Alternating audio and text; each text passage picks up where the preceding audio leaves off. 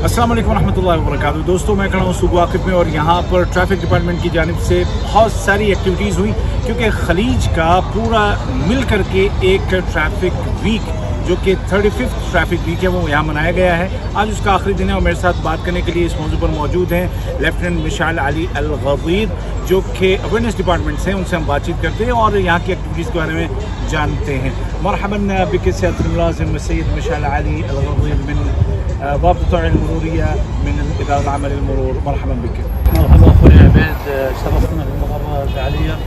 Lieutenant Mishal Ali हमद अलगदीद हमें बता रहे हैं कि ये ट्रैफिक डिपार्टमेंट की जानब से एक्टिविटीज़ यहाँ पे सुख वाकिफ़ में लगाई गई और जो स्लोगन था वो ये था कि आपकी ज़िंदगी एक अमानत है और इसको संभाल के रखना चाहिए और उसी के लिए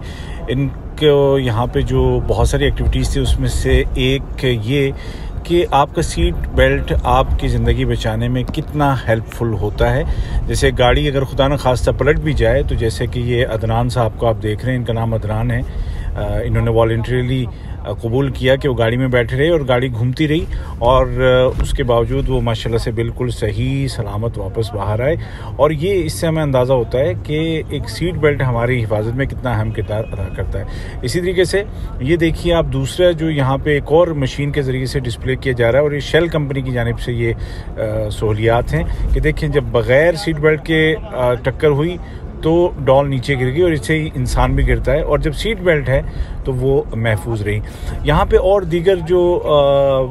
एक्टिविटीज़ हैं, मैंने पूछा कितने दिनों से हैं तो उन्होंने बताया चार दिन से है और ये दल्ला ड्राइविंग स्कूल की जानब से अंदर सिमुलेटर लगाया गया है, जिसमें कि आप बैठ करके ऐसा लगेगा आपको कि आप गाड़ी चला रहे हैं और हर मौसम में बारिश में, आम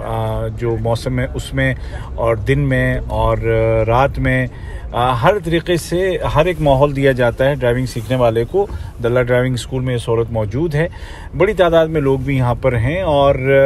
काफ़ी गुफ्तु हुई जो वहाँ के ऑफिसर्स हैं उनसे भी। और मिशाल हमें बता रहे थे कि इन तमाम दिनों में लोगों तक अवेयरनेस पहुँचाई गई कि आपकी ज़िंदगी, आपकी अमानत है, इसको यूँ ज़ाय मत करें। तो मिशल साहब का भी बहुत शुक्रिया। और आप देखने वालों का भी बहुत शुक्रिया। और साथ ही साथ एक आखिरी मैसेज जो मैंने उनसे कहा कि क्या है आपका तो वो उन्होंने ये मैसेज दिया।